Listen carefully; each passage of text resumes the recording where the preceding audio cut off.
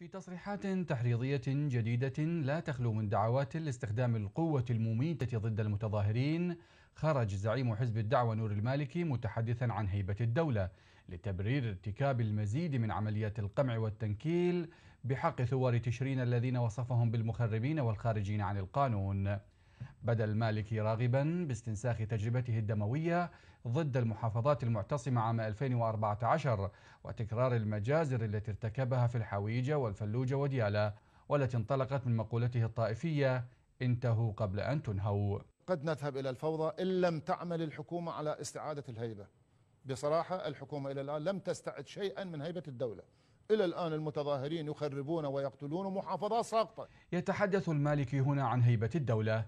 وعن سقوط محافظات بيد المتظاهرين متناسيا كيف أن سياسته الطائفية تسببت بسيطرة تنظيم داعش على نحو ثلث العراق ليدخل العراقيون بعدها دوامة من المآسي ما زالت أثمانها تدفع إلى اليوم.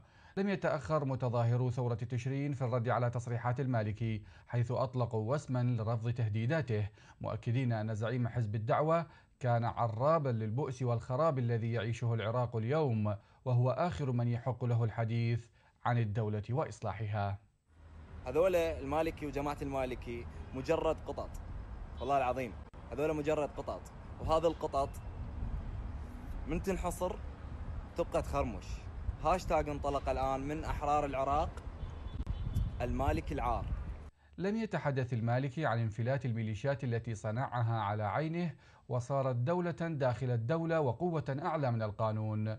ولم يذكر الفساد الذي أسست له سنوات حكمه والموازنات الفلكية التي نهبها ليترك العراق على شفير الإفلاس. يتناسى المالك الدمار الذي خلفه هو وشركاؤه في العراق الذي صار يفتقر لأبسط مقومات الحياة. يغض الطرف عن جيوش العاطلين ومستويات الفقر المرتفعة ويشيح بوجهه عن ملايين المهجرين والمغيبين والمعتقلين. ناهيك عن الذين فقدوا أرواحهم. يركز زعيم حزب الدعوة على هيبة الدولة بمقاييسه هو وحلفائه في نظام المحاصصة الطائفية. ومن ورائهم إيران التي دمرت العراق عبر شعارات ما زال يتاجر بها من خربوا الدولة وقضوا على هيبتها وقانونها وإن كانوا يحملون اسم ائتلاف دولة القانون.